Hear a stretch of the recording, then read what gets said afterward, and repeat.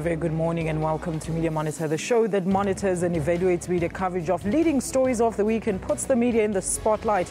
I'm your host, Alicia Jali. We're live right here on the SABC News on Channel 404 for all local and all global news.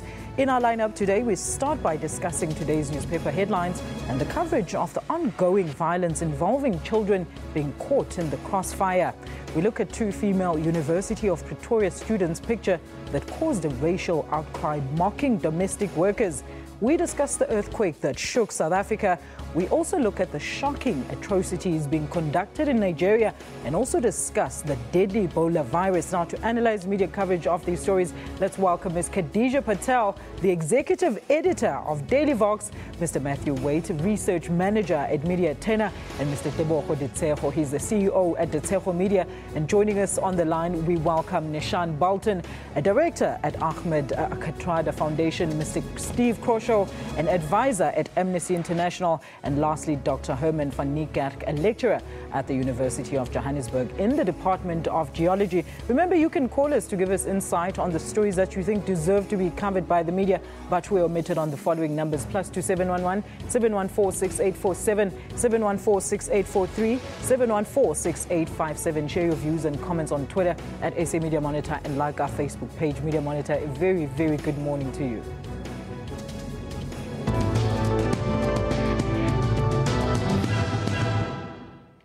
Now, as usual, before we get into today's discussion on the stories that made headlines throughout the week, let's take a look at today's newspaper headlines. Panel, a very good morning to you. Khadija, just want to say Happy Women's Day for yesterday. Thank let's you start much. with you. you. Thank you very much, Khadija. Let's start with you. What, what, what is in your headlines today? I think, um, you know, what's significant is that Women's Day really hasn't made much of an impact in uh, the Sunday papers, considering that we celebrated, we commemorated Women's Day yesterday, and it is an important, uh, you know, day in the South African calendar.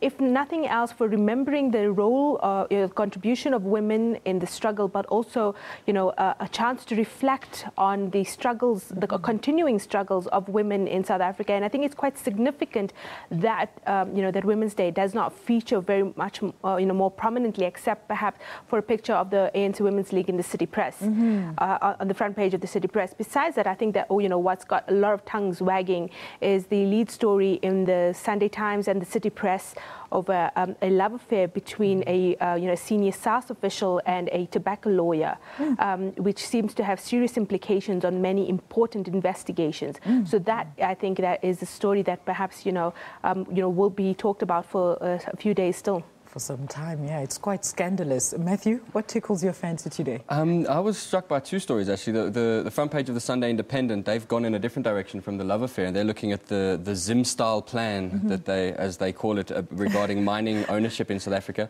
Um, the, the headline interests me because I think that anytime you put something radical and Zim style on the headline, it's going to sell papers. And I think, um, you know, it's, it's perhaps uh, uh, symptomatic of the way we look at the government at the moment. There seems to be a bit of uncertainty around what their policies are going to be, and I think that this is reflected in this story where you know, the, the mining policy? Are we, are we looking mm. at nationalisation? Are we looking at, at um, some sort of Zim-style radical change in the country? And mm. I think that it speaks to uh, a level of uncertainty that's being felt in certain, perhaps in the business sector and more generally by society. And it, I found that quite interesting. Mm. Um, you know, as to whether the once people start analysing these acts and, and legislations, whether they end up being as radical and as scary as we think, that's always up for debate. But it's, it's just interesting the way we frame these discussions very ah, often. Ah, very interesting. Can I uh, just take the liberty to ask Matthew? Do you think that it's significant that such a story coming out of the independent.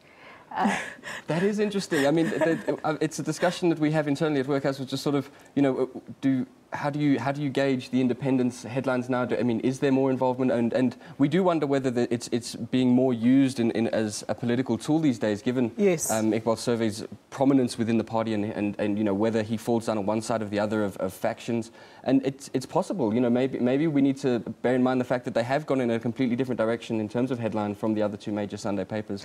And Very maybe interesting that an, Khadija points that out because yeah. we tend to overlook sometimes how certain papers tend to report mm. on certain issues. And uh, Tebogo, what, what is in your headlines this morning? I think uh, what's interesting is in the Sunday Times, page three, um, which, which talks about the U.S. presidential summit mm-hmm. um, for African heads of states. I think that's highly significant because trade between the U.S. and Africa is at 980 billion mm-hmm. um, rands um, annually. Um, that was in 2013. Mm-hmm. And they're competing with China, which is sitting at over 2 trillion um, rands worth of trade mm. um, with Africa annually.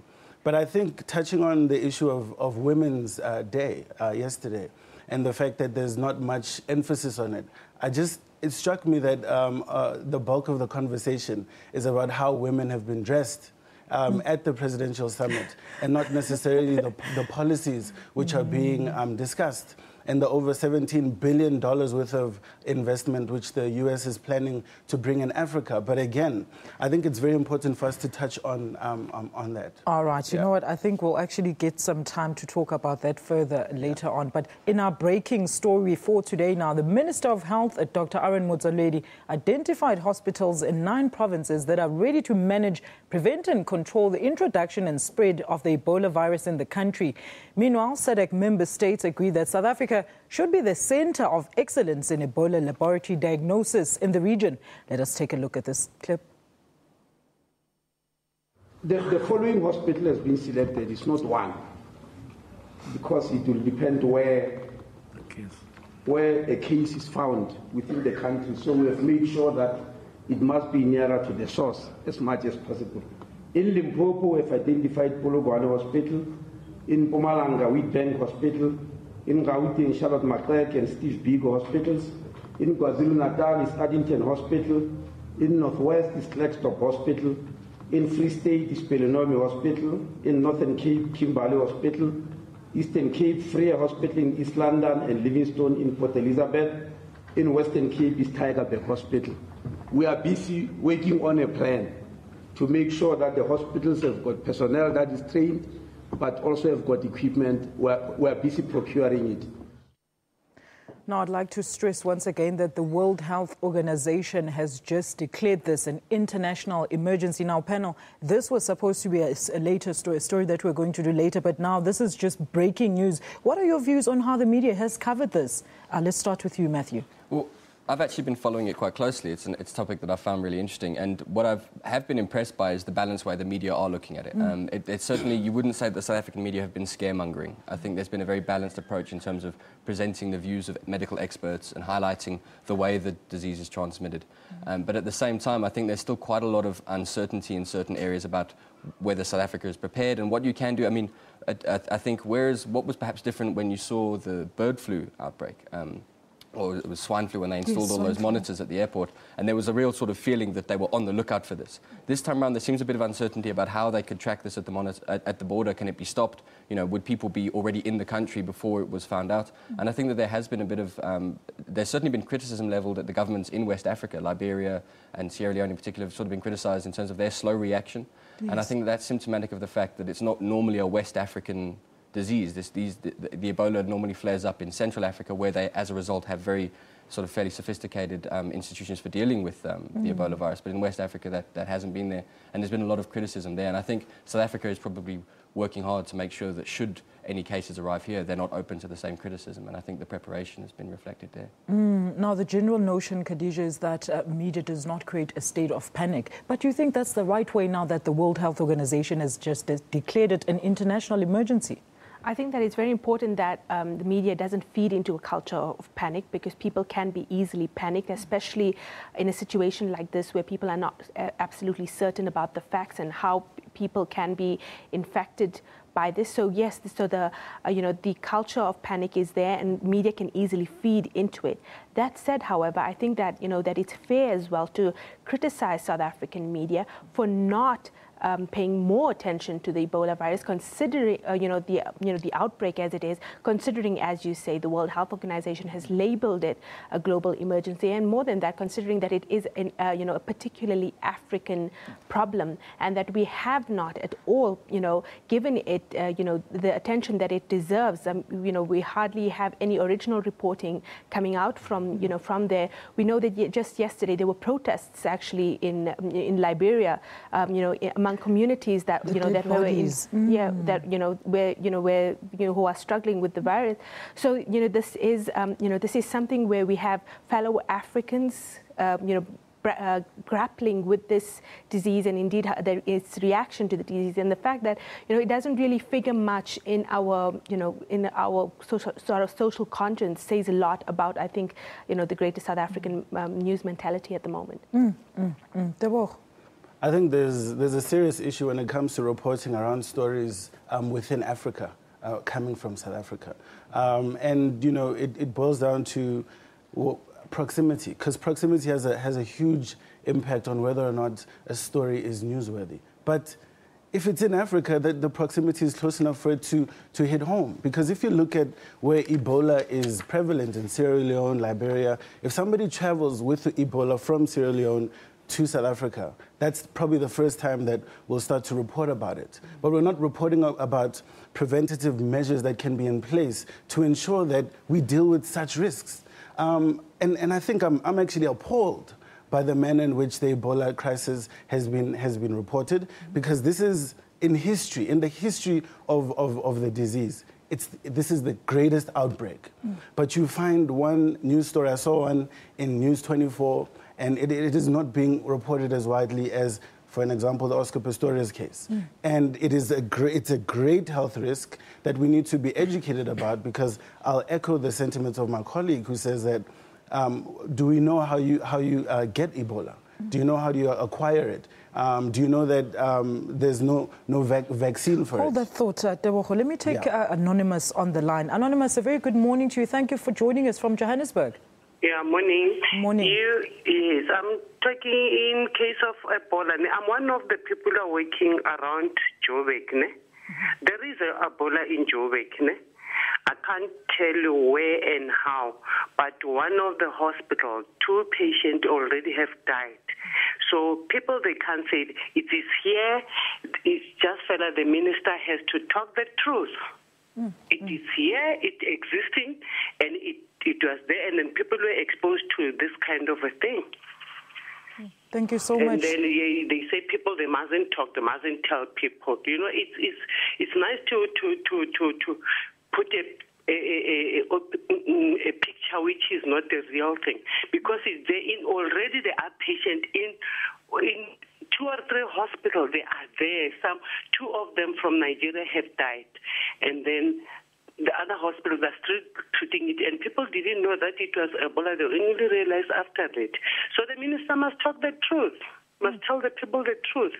This has to be not a, a, a picture of trying to tell people that everything is. There's no equipment. There's nothing. It's not yet prepared. They were just frightened. They were trying to do they were trying to organize some things for, for it. They are not yet ready. They must talk the truth. And they, they mustn't impress the Central Africa that in South Africa it's ready because everybody going to flock there and they are not yet ready. Mm, thank you so much, Anonymous, uh, for this, those shocking news out there. And I think thank you so much for him for, for letting us know. Well, when we return, we're going to discuss the violence against children and the racial picture that was posted by two students of the University of Pretoria that caused a public outcry. You can join the conversation by calling us on plus 2711 714 6843, 714 6847, 714 6857, and let us know which stories anywhere you are you feel were not adequately covered by the media. Share your views and comments on Twitter at SA Media Monitor as well as our Facebook page. We'll be back shortly after this.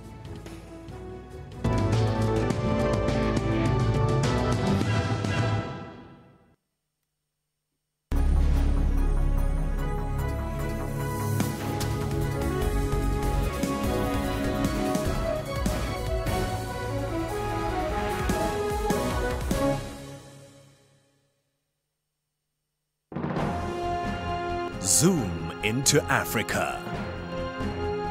This is Libya. The chairman of the General National Congress is Mr. Nouri Abusahmain. Libya got independent from Italy on 10 February in 1947.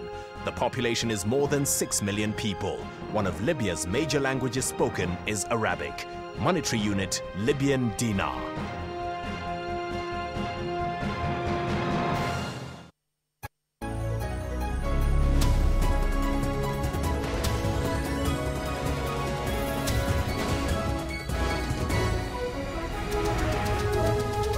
thank you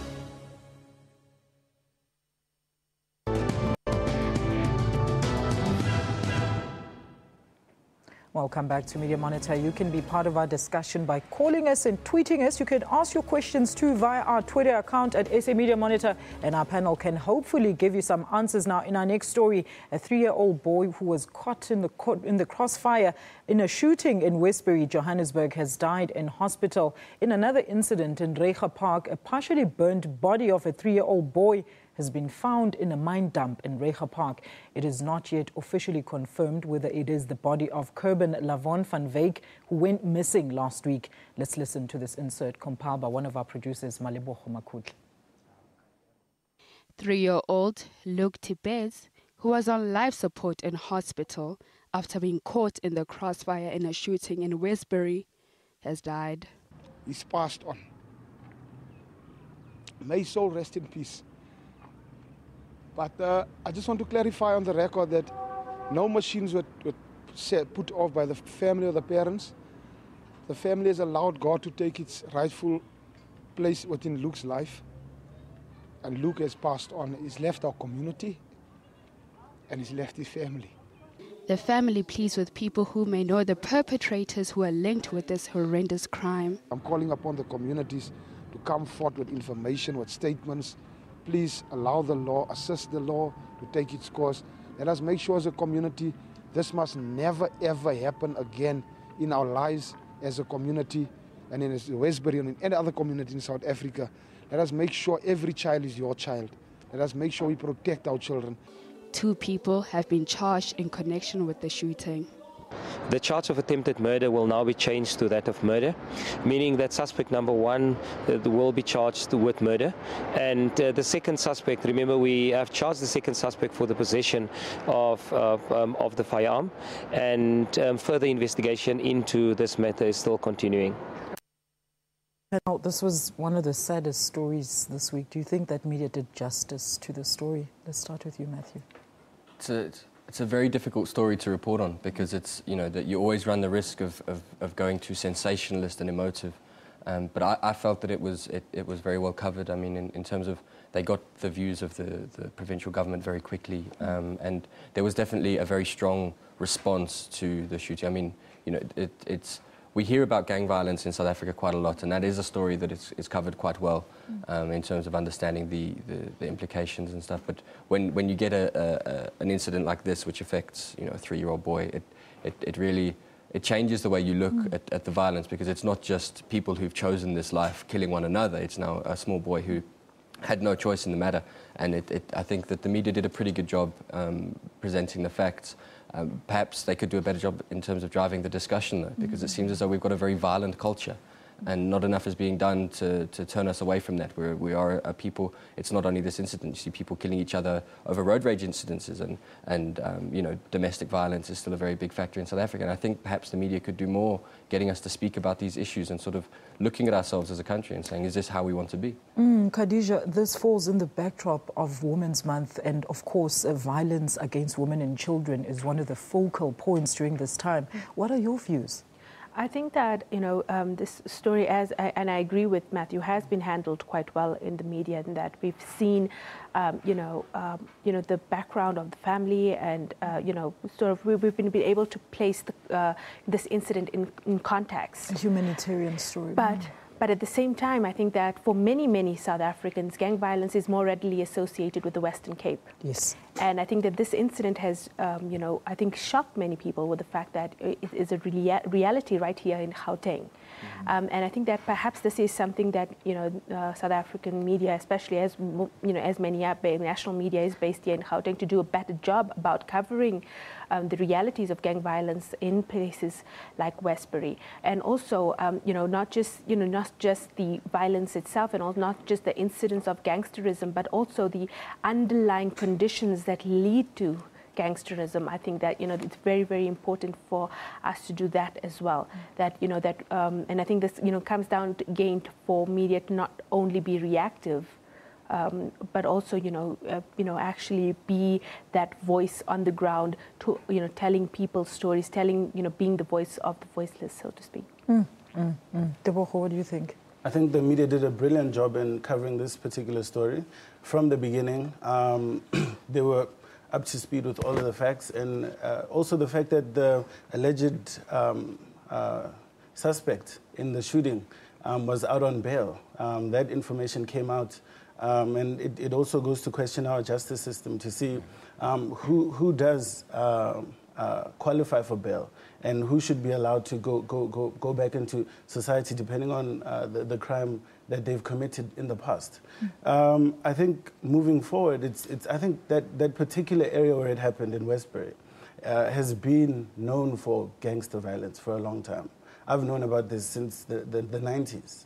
Uh, so for the fact that we are only now, now that a, a, young child has been, has been killed and who was brain dead um, this year, uh, this week, um, now we're covering it, it's, it's a bit of a problem. Um, I think moving forward, we need to look at um, going to, to, to, to the areas and having discussions about it, giving them the voice.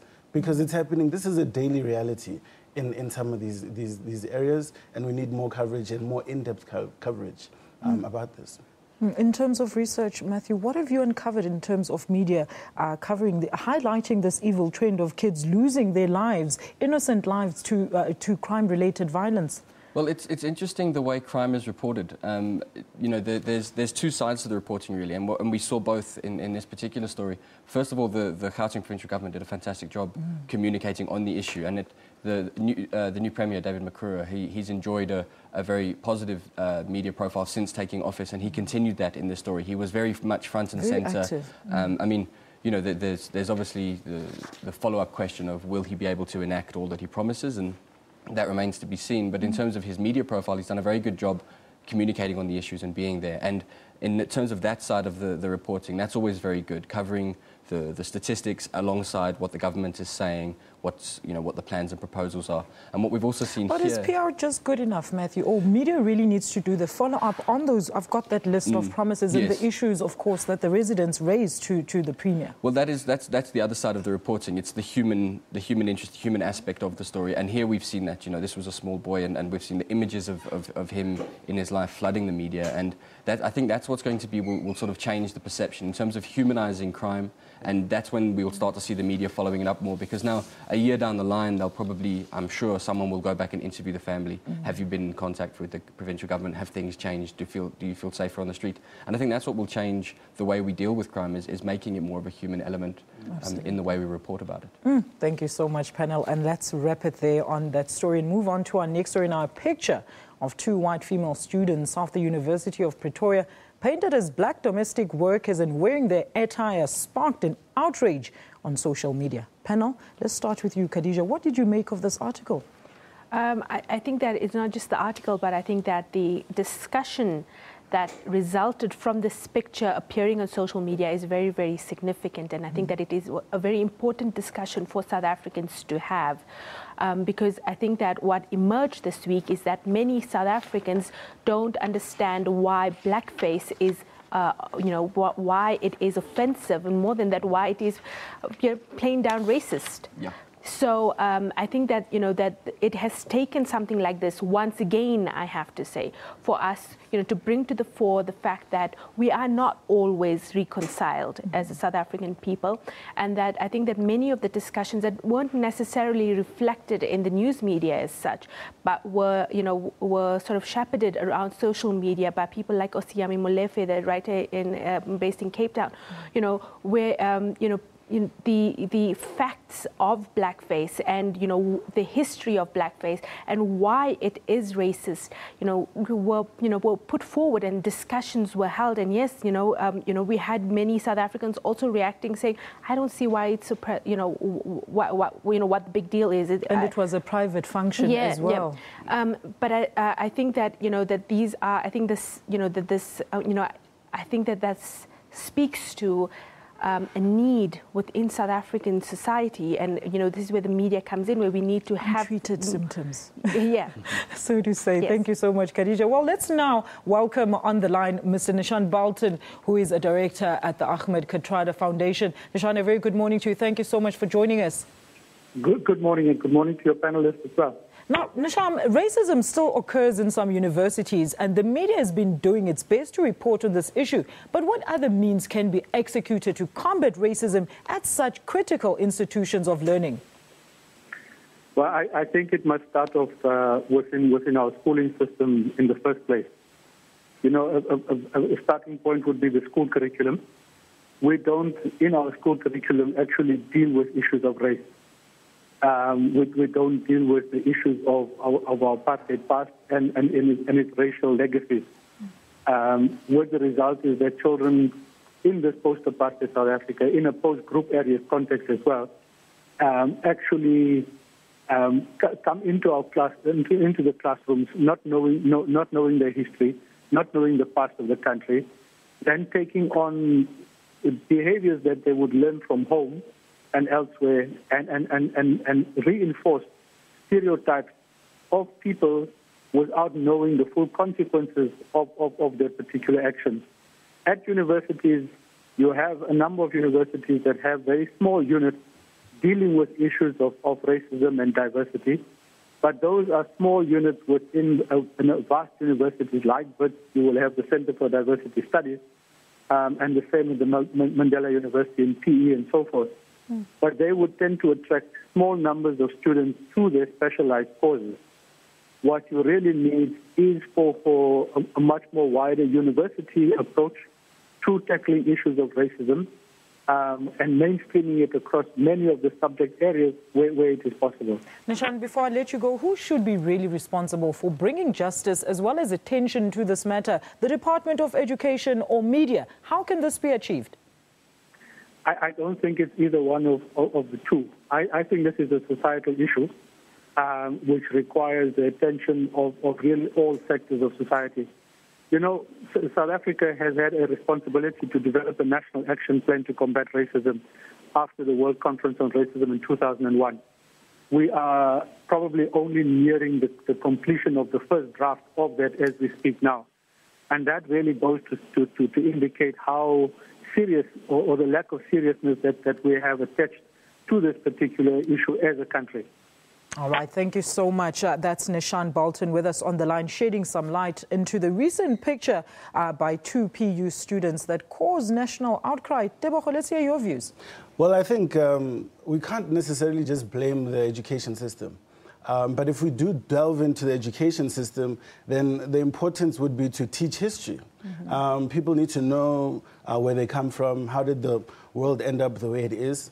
And perhaps if you have more knowledge about that, you'll be less uh, susceptible to being stereotyped based on somebody's melanin. Um, the, the reporting has been brilliant.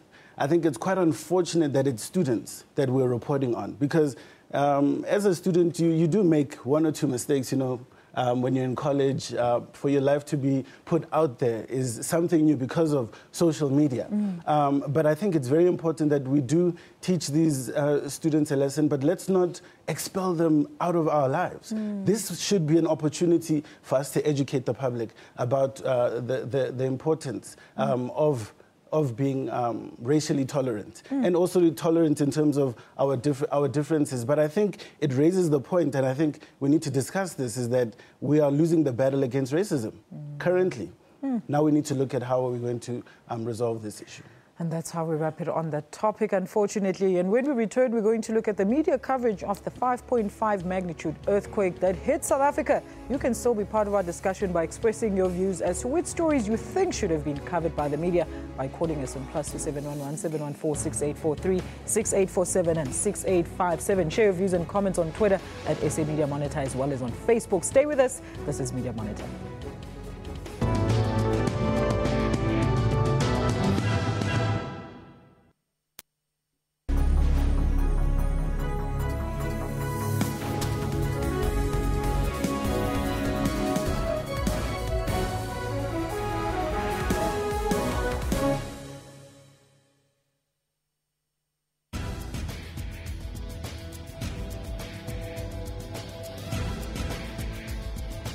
Technology is all around us and is improving lives across Africa, like how young Nigerians are connecting to the internet. There are doctors finding new ways to save lives in Cameroon, and the South African public transport system that is now getting Wi-Fi. We have gadgets, apps and loads more, some of which play a big role in Africa's growth. A huge part of this African growth is technological innovation. To find out a bit more about social media and technology news from here in Africa and abroad, join me, Spumelele Zondi, every Sunday at 7.30 p.m. on SABC News.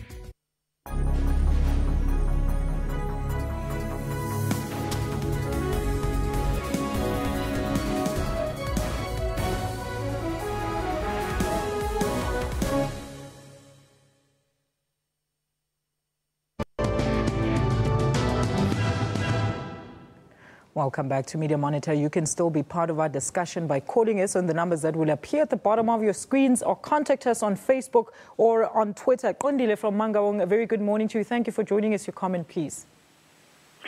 Morning, Alicia. Good morning. Look, Alicia, for me, the, the, the pictures that you have seen are just the tip of an iceberg of the intensity of the, you know, such activities, particularly in institutions of higher learning. If you can look at, for example, at uh, the report that was issued out by Human Rights Commission at Dr. Viljoen High School, where the report is saying, yes, there is racism, but there's a march by uh, black uh, learners that says, no, no, no, there's no racism in our school, we were never consulted. It talks to the intensity of racism and its complexity. Now, what it means is that there's got to be a lot of work that is being done. And uh, for me, uh, uh, Alicia, this thing will never come right for as long as there are economic imbalances. Because for me, it boils down to affordability, materialism, and and I think you, one of your panelists there from uh, uh, media, the gentleman with, uh, was saying Matthew. we must continue we must continue teaching our kids history all of them black and white so that at least they have a background of what is happening and also we should be able to use the platforms like social media properly because those are the platforms that we can use to inculcate the history of our country Mm. Thank you so much for your comment there. But panel, just before we delve into our next topic, are we afraid to deal with the, the real issue of racism? I think there's there's a level of fear, and there's also a, a willing ignorance in certain parts. 20 There's- years into democracy, There's, mm. there's people who still s- s- believe if they don't feel offended by something, no one else should. And I think that's unfair. It's not for me to decide that that picture was not offensive. It, you know, whether it does offend me or doesn't offend me, I personally did find it offensive. But I, I know the history of the minstrel performances from the Jim Crow South and what it means and what they were. So I understand the history of it, and therefore I can see why it's offensive. But Mm. if you can't see why it's offensive, that's not Look, they the found it funny. Look, sorry, Matthew. yeah. Sorry, Matthew, but they found it very funny when German fans, uh, when the Germany was playing against Ghana, and the German fans painted their faces black, and FIFA is still investigating, but everybody thought it was a joke. Well, those, those fans are going to be banned by the German Federation. They won't be allowed to attend any more German football matches. And I think that Mm. what we have to understand is that offence is offence. Whether if it's felt by someone else, if somebody else is offended, then you've offended them. And, Mm. and you know, whether it's a matter, I don't know the, the two girls. I'm sure they didn't intend to offend and, and upset people. But, and I think maybe what's necessary is, is, as you said, educating people about the history, having discussions about diversity, not to expel them or kick them out of the institution, but to use this as an opportunity to create discussion. Thank and you. I think that's what's important. Thank you so much there, panel. Well, there you have it, South Africa now. South Africans are still shaking after a 5.3 magnitude tremor hit Johannesburg and many parts of the country earlier this week. Now, the tremor damaged more than 400 homes in Orkney in the northwest, where it was centered. Let's take a quick look at this insert compiled by Yolanda Mhlati. According to reports, Tuesday's earthquake was the largest magnitude quake to strike the country in the past decade. Its cause is still unknown at this stage. Residents have started with rebuilding their homes. When I got off the taxi and saw the state of my house, I felt a lot of pain because it took me many years to build it. Northwest Premier Supra Mahumapelo visited the area and spoke with the traumatized residents. We have asked the Department of Social Development to look at the people who will be helping us counseling the families that are affected. The Council for Geoscience says more tremors of the same magnitude can be expected in future. Well, on the line to give us expert insight on the story that made waves in the media this week, we welcome Dr. Herman van Niekerk, a lecturer at the University of Johannesburg in the Department of Geology. Doctor, a very good morning to you. Thank you for joining us.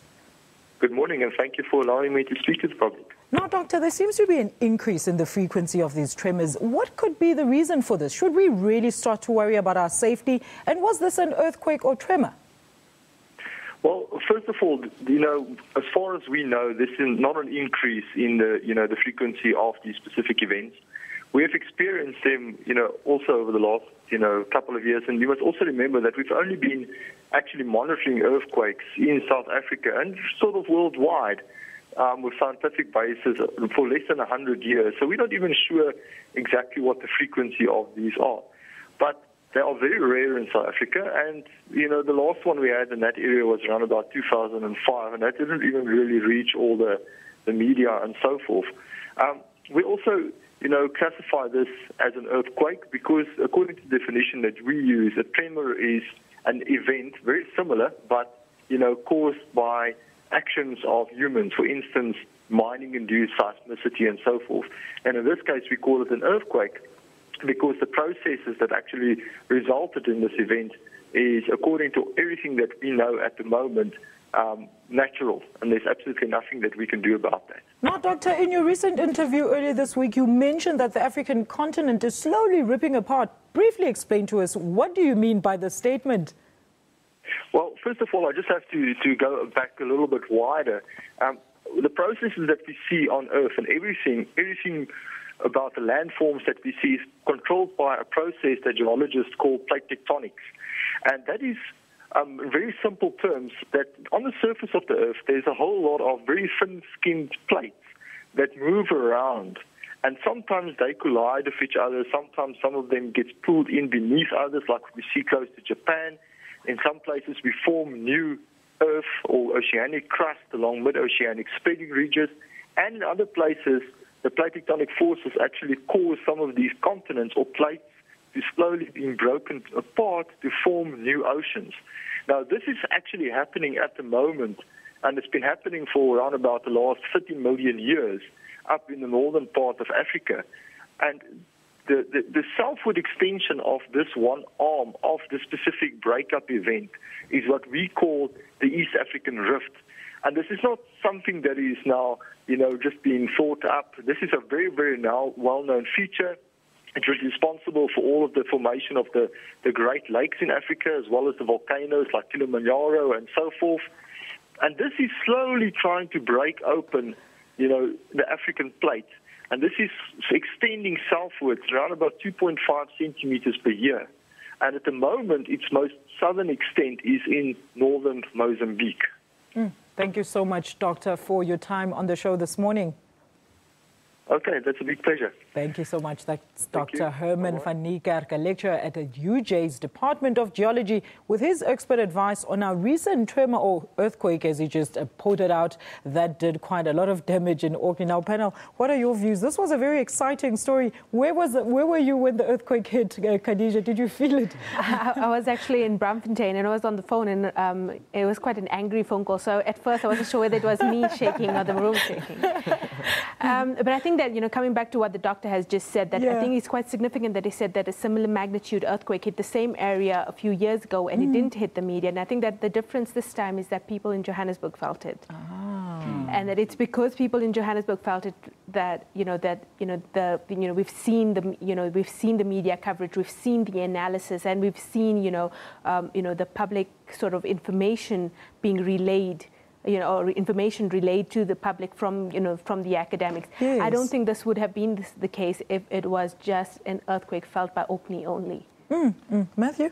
Well, I was going to say that this one, for me, the difference with this one, I think that this is one case where the traditional media lagged behind social media. I mean, I was at my office in Pretoria and we felt it there even. Mm. Um, but before my screen had stopped shaking, I got the first tweets and Facebook posts about it. And I think that, that drove a lot of the coverage as well. I mean, the, the media had to take notice because there was so much discussion around what, what the earthquake was and, and all of that, that it was just it became a, a national conversation, or, or, at least a Gauteng conversation about, about the earthquake. And I think that drove media coverage to sort of have a look at what it was and what were the, the causes and stuff. Look, a man also died, and I think uh, mm. the damage also that was, was caused in Orkney has also like just blown this issue further. Debo? Yeah, I think um, it's, it's with issues such as earthquakes, it's very important that they be reported. Firstly, because there's an educational perspective that you have to um, show the public. Mm. Um, if it happens, what should you do? I think that's very important for the public to know because um, if, it's not, if, it's not a, if it's not a tremor, and it's, it's not man-made and it's, it's, it's, it's natural, it's an earthquake, then there's nothing much you can do to avoid it. Mm. But there's something you can do if it happens in order to avoid injury, such as not going to the edges of the building, going into a wall inside the building because the edges are going to fall first if it's a major earthquake. And I think um, if, if it's only going to be reported in, when, when it hits Joburg a little bit, then that's a bit of an issue. I think we haven't seen an increase in earthquakes. We've just seen an increase in awareness, which makes you feel as if there's an increase, but there's no increase. Mm, mm. Is that true, Khadija? you know, again, you know, I, I, we have to, you know, go back to what the experts are saying regarding mm. the science of it, um, and you know, the actual uh, frequency of these tremors and the earthquakes. And then, you know, what we can then do in our jobs is then to see whether the media coverage is actually telling up with that increase. Mm, mm. But what is it going to take for media to put those precautionary measures out there? Because I think that's the least that they can do. They need to work with this geology department. Matthew? Well, it's, it's a difficult thing because, again, you don't want to go back to the, the issues Khadija raised earlier about mm. scaremongering. Um, yes. We're not a country that sees a dangerous level of earthquakes. So, you know, if you look at somewhere like Japan, for example, yeah. they have so many that it's sort of something they're taught in school, how to deal with an earthquake for us, we're probably uh, you know, far less informed. I know for me at our office, we didn't know what to do. We've got a fire drill rule, we've got rules for all sorts of things. The earthquake happened, we all just sat around looking at each other. and, you know, perhaps there could be a greater, a, a, little bit of awareness around that, but yes. at the same time, you don't want to flood people, people, and sort of get people every time a door slams. I think it's an earthquake. And I'd rather be safe than sorry, Matthew. but anyway, stay tuned because when we return, we're going to be discussing the coverage of the barbaric killings in Nigeria as well as the Ebola virus. If we still have time, you can still call us on plus two seven one one seven one four six eight four seven seven one four six eight four three seven one four six eight five seven. Share your views and comments on Twitter at SA Media Monitor as well as on Facebook. Don't go anywhere.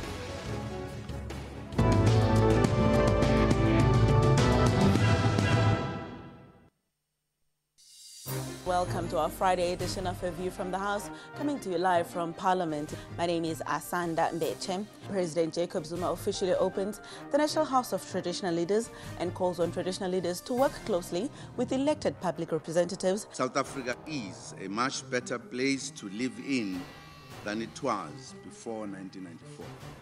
Many of our traditional leaders can attest to that fact having seen improvements. A View from the House, weekdays at 2.30 on SABC News.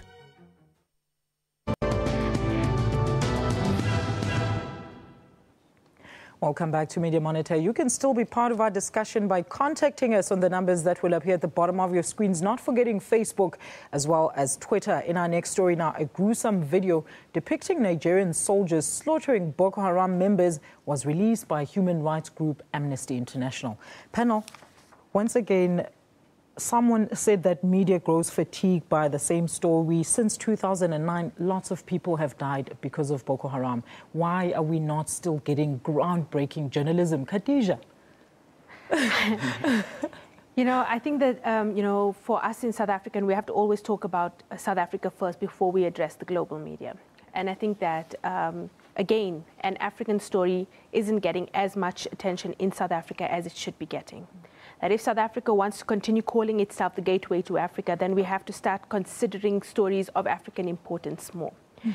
And that Boko Haram isn't, you know, isn't, you know, isn't just a sudden, um, you know, a sudden pop-up um, they didn't pop up out of nowhere, kidnap 200 girls and then disappear. Because that, you know, if, if we look at sort of the outrage or, or, the coverage, the level of the coverage that we've seen, and or the level of awareness indeed that we've seen in South Africa on this story, then you know you'd almost believe that that is the case. However, as you've pointed out, that you know that this has been going on for a number of years, and um, if anything, I think that you know atrocities have been committed on both sides here. That um, Boko Haram have, you know, absolutely been terrorizing, you know, the, the, north of Nigeria, areas of the north of Nigeria. But at the same time, you know, the Nigerian army's response has repeatedly been shown, um, you know, to, to, you know, actually be violating human rights mm. in many, many instances. So I think that, and the only way that we can understand what's happening there better is to always also make sure that we are only, we are taking uh, or paying attention to what's happening, uh, you know, consistently. All right, Tebogo. Yeah, I think this is quite an unfortunate story. Um, 702 Eyewitness News did a, a great job um, in terms of the timing. They got the story out there very quickly mm-hmm. and they got the analysis out there on spot on. Um, but generally, with the rest of the media, most of the media, I think um, the reporting has, has, has left much to be desired. Mm. It's, it's, it's, it's, it's just unfortunate that, you know, as um, Khadija has said, that we call ourselves the gateway to Africa but then we report stories as if um, we're not in the continent of Africa. Mm. And we need to start to um, report more about what is happening on the African continent and holding other African countries to account. Because sometimes it's very difficult if you're within a system mm. to tackle the system. But there are people outside of your system who can hold your system um, to account, and that is what we should be doing. Mm. Uh, and unfortunately, this is a warning that some of these visuals that you're actually seeing are actually not uh, suitable for the more sensitive viewers. But joining us to give us more insight on the video footage, we're now joined on the line by Steve Crawshaw advisor at Amnesty uh, International. A very good morning to you, sir, and thank you for joining us. Good morning. Pleased to be with you. Now, Steve, Amnesty International says its mission has discovered that extrajudicial killings are common in conflict torn Nigeria. Please elaborate further. What is this kind of killing? Well, it, it's truly horrific killing that we're we are seeing. The um, video, which you've already described, as you also said, is too horrific in a sense to, to show in its full detail publicly. But for example, including the slitting of throats of people one by one. Speaking personally, it's some of the worst stuff I have ever seen at all. We're obviously familiar with war crimes, but very, very terrible crimes. Um, and we see people waiting to be killed. They're lining, sitting there waiting to be killed, summoned forward, and then their throats are slit while alive, the body's tossed into a grave. Simply from describing that now, you can see how terrible, terrible these things are. And what we have seen, uh, so what clearly, as one of your interviewees said a moment ago, the crimes committed by the Boko Haram group are truly terrible, and Amnesty International has repeatedly described those as crimes against humanity. Mm. But see this by the Nigerian military, that's very disturbing indeed. But Steve, Boko Haram has also released videos of their shocking crimes. How does this now compare to this video of the military soldiers? And also we've heard reports that Boko Haram militants actually disguise as military soldiers when committing their crimes. Is this an ethical source? Has it been proven that it is actually military soldiers? Yeah, so I mean, as you say, there are indeed terrible crimes on, on the Boko Haram side, and I'm not going to try to, to make balances I mean, in terms of the number of dead, the number they have committed, truly terrible. But we're looking here at a, a government military and government militias and, and, what they are doing. So to go to the heart of your question of, of do we know it's military, I would say the overwhelming body of evidence points in that direction. What we at Amnesty International are calling for is an independent investigation which truly gets to the bottom of this. It can't just be the military investigating itself again, which we've seen promises again and again and again, and nothing comes of those. So I was, in fact, part of a mission that Amnesty International did together with the Secretary General, the head of the global head of the organization in 2012.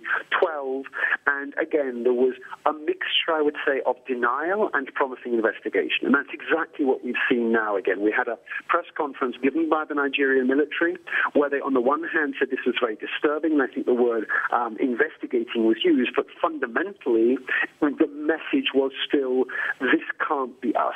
To give you just one example of why we, we have eyewitness accounts of what happened, we also have been receiving uh, from inside the establishment accounts because some are quite rightly very worried. Um, but to give you a particular detail that was visible in, in one of the videos is the number on a rifle. That number ties it to a particular battalion, and we understand again from our inside sources, we understand that that rifle had not been reported as stolen. In other words, you can't just say, oh, this is Boko Haram dressing up as others. The mm. overwhelming body of evidence points in the, right, the, other direction, and I think that's deeply shocking. And although I, I thank you so much that SABC is, is hmm. addressing this strongly, but I think it could hardly be more shocking that around the world there has been too little attention to these truly terrible crimes. Mm. Steve, thank you so much for your time and insight on the show this morning. All right, that Thank was you. That was Mr. Steve Crawshaw, advisor at the Amnesty International, giving us insight on a video of military soldiers carrying out what could be suspected as extrajudicial killings of suspected Boko Haram insurgents. All right, we're going to take our very final ad break, and then when we come back, I'm going to read your tweets, and we'll also hear from our panel as to which stories they think will be making headlines this coming week. Share your views and comments still on Twitter at SA Media Monitor as well as on Facebook. Don't go anywhere.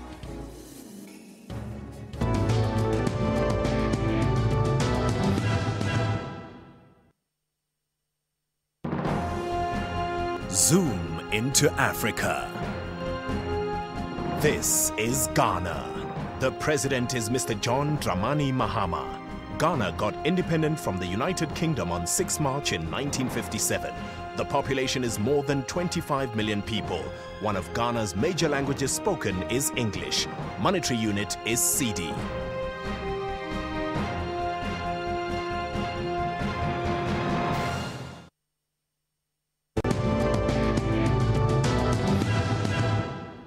Welcome back to Media Monitor. And this was where we get to read some of the tweets that some of our loyal viewers have, of course, sent to us on the topics that we've been discussing today. Let's look at some of those tweets. August Baby Pula says, uh, of course, uh, use of language is important too. Education in all languages, vernacular. Every country should be well informed and alert. Thank you so much. Shani Pillay says, yes, we as the public should be told what to do and how to prevent it. Also, what signs to look out for so that we don't make others sick. Shani Pillay is, is in, uh, I think her comment is in relation to the Ebola outbreak. Thank you so much uh, for your comment there. Lena says, exactly, the more knowledge they, ha- they are, uh, they have, rather, they can prevent it or will help identify the symptoms of diseases at, at an early stage. Lina, thank you so much for your time. DMH says community of Reiger Park must take the law into their own hands. How long are they going to be uh, mourning the death of children? Ooh, all right. It's not advisable